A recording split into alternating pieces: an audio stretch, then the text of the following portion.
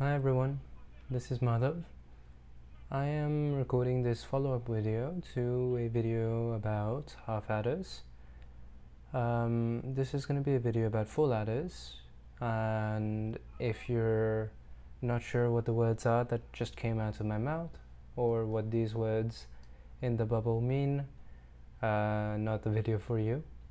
However, if you are here in the right place, you understand what these words in the bubble mean, then let's talk about full adders. So in the last video, I set up, well, I showed why this is a half adder circuit and to write out the equations for the half adder and the labels in a little bit more pretty color. Here we have a diagram.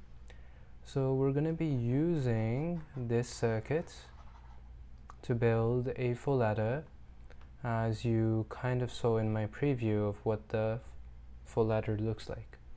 However, you know, we're going to explain why does it look like that. So the first thing is I'll give a motivating example of why we need a full adder. I mentioned this in the last video. Sometimes we are going to have to add a column, column of numbers where we not only have two input bits but also a carry in that resulted in this case from 1 plus 1 in the last column producing a sum of 0 and then a carry of 1. So how do we deal with this case? Our half adder it didn't have an input for carry in. Now we're going to create a full adder circuit that has both carry in as an input, the x bit, one of the bits, and the y bit, the other bit. So now we're going to be adding three bits together, of which the carry in is the new part. As we did in the last video, I'm going to start by creating a state table that will help us figure out what are the relationships between these inputs and those outputs. So let's get started. First we're going to fill in just the state table over here and we can just do this with the you know reasoning about what the sum should be in various cases. So for example, if we're adding 0, 0 and 0, quite obviously the sum will be 0. 0, 0, 1, sum is 1. Same thing over here. Here we have our first new case, so when we have 1 plus 1, we're going to output 2 2 in the binary world is 1, 0. So we are going to put the sum of 0 and this will go over to the next column. So this will be a carry out. I'll just fill that in over here. Of course, in these cases, because we were able to just represent, you know, uh, the sum using one bit, we have no carry out. So I'm just going to fill in some zeros over here over here we have uh, another you know just 1 and carry out of 0 1 plus 1 again it's going to be 0 plus 1 1 plus 1 again we have 0 and 1 and finally 1 plus 1 plus 1 that's going to give us 3 which is 1 1 so one of these will be in our column. One of these will be in the next column. So I'm just going to write in 1 1 Again, when I say columns, I'm referring to the columns that we separate binary numbers into. You can just say we're separating out the bits. Now we have our truth table. We are ready to try and figure out what the relationships are between these inputs over here and these outputs over there. Our default tool for this is the Karnaugh map, which is why I labeled it as a prerequisite for this video. I have set up two Karnaugh maps and I'm going to try and just uh, copy over you know when the sum should be a 1 into the Karnaugh map up here and when the carry out should be a 1 into the Karnaugh map over here. As I go, since this is hard to parse, let me just label the ones. So I have a 1 over here, a 1 over here, and here. Okay, so if I try and identify this one, so it's going to be ci is equal to 0. So it will be in this row. And then x and y is 0 1 so this row go over here to xy 0 1 and put in a 1 let's do this one over here. So we have again same row ci as 0 and xy is 1 0 put in a 1 over there um, let's go to the green one. So now we're going to the second row for ci and then put in a 1 at xy is 0 0 finally this one over here we have 1 1 and 1 so 1 1 and 1 we put in a 1 over here. All of the rest are zeros. For the other Karnaugh map I'll do the same just to highlight the ones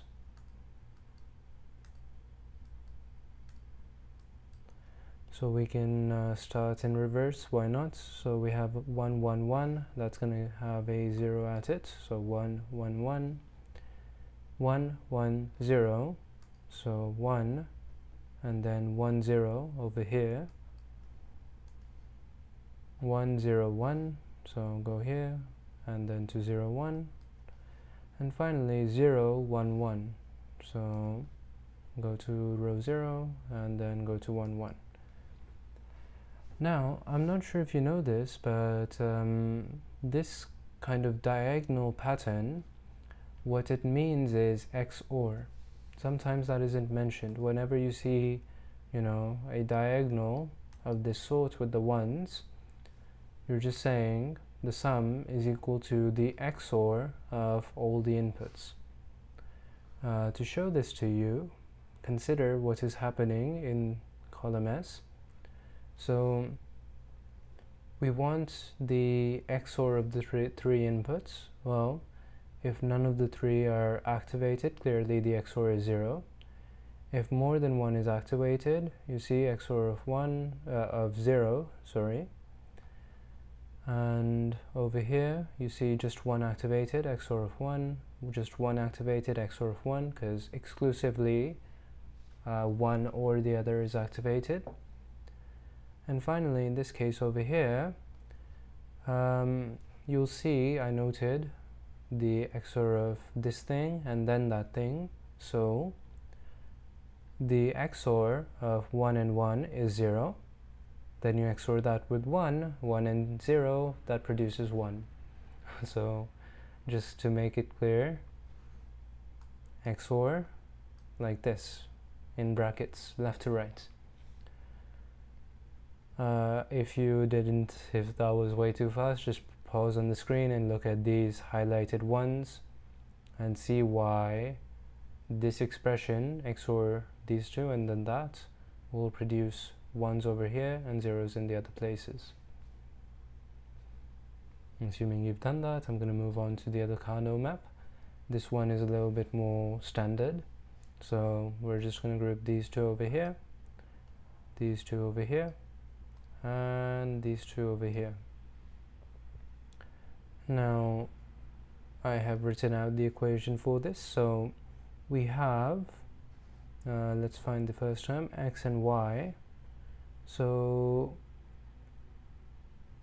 that is going to be this vertical column. So x is a 1 y is a 1 and c the inputs the carry in it doesn't matter because it could be 0 or 1 so for this vertical group I'll call this 1 this vertical group 1 that's where we're getting the x y from. Next we have the y ci term. So we want the y to be a 1 so y is 1 y is 1 and we want the ci to be a 1 we are looking at this grouping over here. I'll label this as 2. So y must be 1, x could be 0 1, so we don't include it. And then the carry in is 1. Finally over here we have the third grouping, it must be this one. You can see x must be 1, y doesn't matter, and ci, the carry in, must also be 1.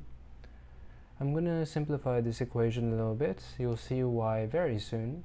So if I have xy, wow, lots of colors, xy plus, you can see yci and xci, I'm going to factor out the ci, so factor this out, and you're left with, in the middle, y or x. Now, I am going to do something tricky here. Um, it's going to seem odd to you at first, however, I'll explain why. I'm going to replace this OR with an XOR. And the reason is because you'll realize when we derived our earlier equations for uh, let's try and find the half adder you'll note that we had an XOR gate, we had an AND gate, we had no OR gates. So if we're going to build up a full adder based on half adders, we'd like to get rid of as many OR operations as possible. And what I'm claiming is that we can get rid of this OR operation in particular. To write out my claim, I suppose, I claim that we can replace this OR operation with an XOR. And you might be like, how? How can you just do that? That's kind of odd. I'll explain why. Okay, so I'm claiming these two lines are equal. Let me explain why. So as you'll recall, the OR operation versus the XOR operation, they're basically the same. In fact, for the first three rows, they are the exact same. The only case where they differ is if we get an input of x and y is equal to 1. So, if we get an input of x and y equal to 1, will these two give us the same output? Clearly not. That's why XOR and OR are generally not equal. But in the context of this expression, note if we get x and y is equal to 1, then over here we will have x and y, so 1 and 1, this is equal to 1, this is equal to 1. Ci could be anything, we don't know what. y or x, if we have a OR operation, we have a 1. If we have an XOR operation, we have a 0. So now, in this case, note something we have one or something. We're not sure what the something is because we don't know what the CI is. But we don't care. One or anything. It could be one or one. It could be one or zero. It's always gonna give us one. You can see that here. One or one you still get a one. One or zero you still get a one. So functionally we don't care if uh, this we don't care about this term at all when x and y is equal to 1, we only want to look at this term over here. And so that's why we can replace the x or y with an x XOR y. The reason is that for most cases they're the same. For the case where they differ, with x and y is equal to 1, we don't care about this term anyways. Okay, those were a lot of equations. How are we going to use these equations? And these are the key equations over here. How are we going to use them to build our full adder circuit? Now, I'll point out some uh, similarities between, first of all, this equation over here and the equation that we saw for a sum in a half adder circuit. Recall, in the half adder circuits, we just had s is equal to x XOR y. And in the full adder circuit, we start off with that expression too, x XOR y. The only thing is that we have to then go on and XOR again. So this seems to me like we can start off with the half adder circuit. We can use the built-in XOR functionality already there. So that's what I'm going to do. If I want to start off with an XOR, then I will take these, feed them into a half adder circuit, and it will give me an output which I will call S1, which is very useful to me. S1 is useful for me because it's just X XOR Y. That's what the equation says, X XOR Y so now I've computed my first term x x or y I'll write this as s is equal to s1 XOR Ci, the carry input. Okay, now what do I do? How do I get from S1 and Ci, which you'll see in my circuit over here, I have S1 and Ci, how do I get them to be S, the sum? Well, you might uh, note our handy dandy equation over here. We're just trying to XOR one thing with another. And the half adder circuit, it does that. You can see we just want to XOR one thing with another. Half adder circuit does that. So just feed these two things into a half adder circuit. So I'm just gonna feed this and this into a half adder circuit and it will give me the sum out because of this equation right here we're XORing the two things, we need to get the sum. So we have uh, half of our job done. We figured out how do we get one of the inputs we need with the half adder circuits, combining them to make a full adder circuit. The only thing is the carry out. How do we get the carry out that we need using these particular inputs and half adder circuits? Let's go over to our equations. So the carry out, you'll note, I have it as xy, so this is an AND, and then we have some complicated thing that we're, you know, taking the XOR of and then ANDing and whatnot. I like to focus on the easy stuff first, so let's look at the AND term. Looking at our equations for the half adder circuit, you'll notice we have the AND term as we need. The half adder circuit will produce the AND term as its carry out. So I'm just going to copy in the AND term. So I'll call this uh, C1. That's what the first half adder is giving me, C1, the carry 1 and the carry 1 is equal to xy. So I'll just rewrite this equation a little bit. It's equal to c1, which we have, or ci and this xor term y and x. Now, do you see any familiarities between these two equations? The XOR term up here and the XOR term down here. The XOR doesn't care about direction. X XOR Y is the same thing as Y XOR X. You can see on, on the table. If, you know, X is a 0, Y is a 1, you're going to get an output of 1. If you change the direction, if that's a 1, this is a 0, you still get a 1. So we have also already computed the x XOR y term, which is the same thing as the y XOR x term.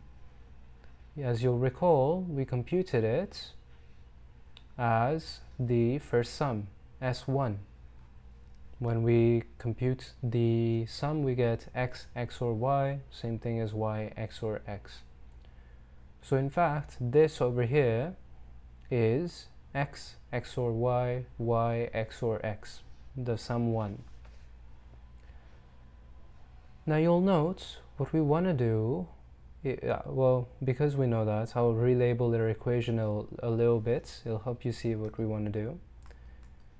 So I have C1, I have Ci, and instead of y x or x I'm just going to write S1 because that's what S1 is. That's what we got from our circuit. So we have S1 here.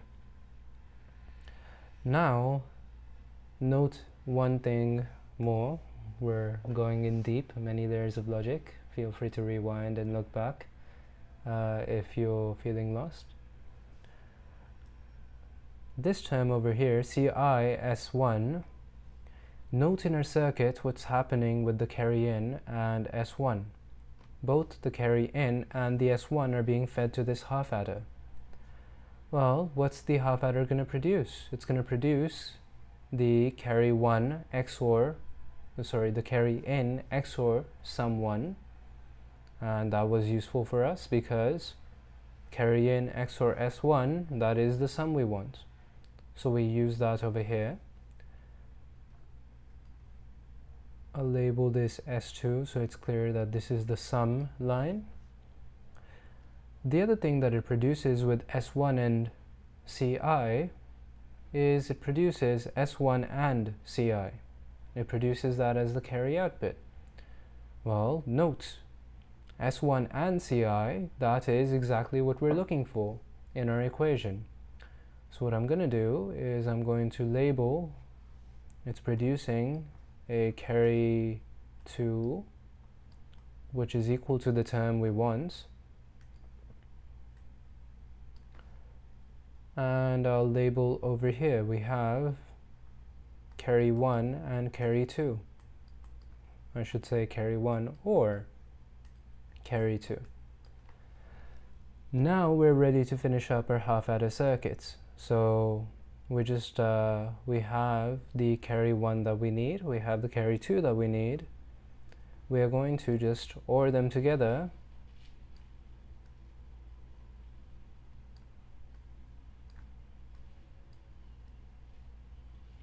And we have the carry out that we need. And there you see we have finished our half adder circuit so the the complex part about this was just uh, rearranging these equations a bunch to see how we could reuse the half adder circuit with these equations to compute all of the terms that we needed for initially what seemed like completely unrelated equations. That's the tricky bit so review that that part of the video if uh, you're feeling lost but otherwise we have now just accomplished our full adder which can perform one column of addition. In the next video we're going to talk about how we can perform all columns of addition not just one